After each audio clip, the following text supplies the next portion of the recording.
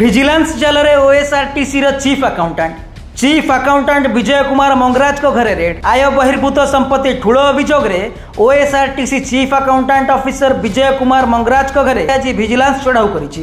Vigilance ପକ୍ଷରୁ ସାତଟି ସ୍ଥାନରେ ଚଢ଼ାଉ କରାଯାଇଛି। ଭୁବନେଶ୍ୱରର ଛଅଟି ଜାଗାରେ ଚଢ଼ାଉ କରାଯାଇଥିବା ବେଳେ ବାରିପଦାରେ ମଧ୍ୟ ଚଢ଼ାଉ କରାଯାଇଛି। ଆୟ ବହିର୍ଭୂତ ସମ୍ପତ୍ତି ଠୁଳ ମାମଲାରେ ଏହି ଚଢ଼ାଉ କରାଯାଇଛି।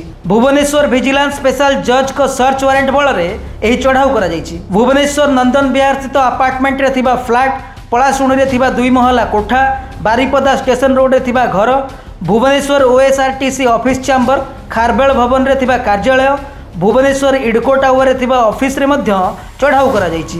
ବିଜୟ ଆୟ ବହିର୍ଭୂତ ସମ୍ପତ୍ତି ଠୁଳ କରିଥିବା ଅଭିଯୋଗ ହୋଇଥିଲା। ଭିଜିଲାନ୍ସ ତଦନ୍ତ କରି ଆଜି ସକାଳେ ଚଢ଼ାଉ କରିଥିଲା। ଏହି ଚଢ଼ାଉରେ ଆଠ ଜଣ ଡିଏସ୍ପି ଆଠ ଜଣ ଇନ୍ସପେକ୍ଟର ନଅ ଜଣ ଏଏସ୍ଆଇଙ୍କ ସମେତ ଅନ୍ୟ ଅଧିକାରୀ ସାମିଲ ହୋଇଛନ୍ତି। ବ୍ୟୁରୋ ରିପୋର୍ଟ ସର୍ବସାଧାରଣ ନ୍ୟୁଜ୍।